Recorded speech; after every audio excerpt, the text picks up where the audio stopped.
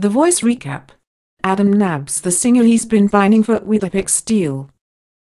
The coaches on season 13 of The Voice have to make tough decisions as the battle rounds rage on during the Oct. 17 episode. Follow along with everything that goes down in our recap here.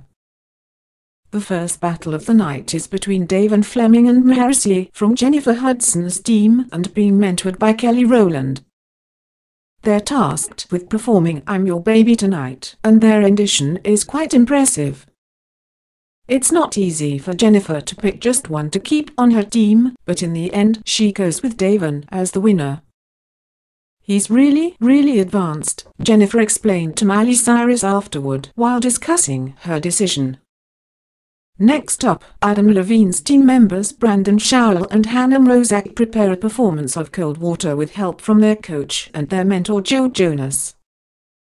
After their stripped down but powerful rendition of the song, Adam has a tough choice to make and he decides to pick Hannah to stick around. On this night of battles, Adam also chooses Dylan Gerard over Dave Crosby, while Blake Shelton keeps Esera Tuaolo over Rebecca Brunner and Miley opts for Chloe Kohanski over Ilianna Viramontes. The final pairing of the night is Team Blake's Dennis Drummond and Mitchell Lee, who are being advised by Rascal Flatts. They sing Mr. Jones and the coaches are blown away by the performance.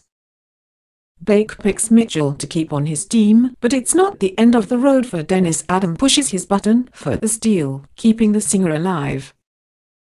Jennifer, Lucas Holliday, Noah Mac, Chris Weaver, Davon Fleming, Adam, Adam Pearce, Hannah Mrozak, Dylan Gerard, Dennis Drummond, Blake, Keisha Renee, Katrina Faith, Esera Tuaolo, Mitchell Lee, Miley, Mario Formica, Brooke Simpson, Whitney Fenimore, Chloe Kohanski, Hollywood Olifers. Who is your favorite contestant on The Voice this season?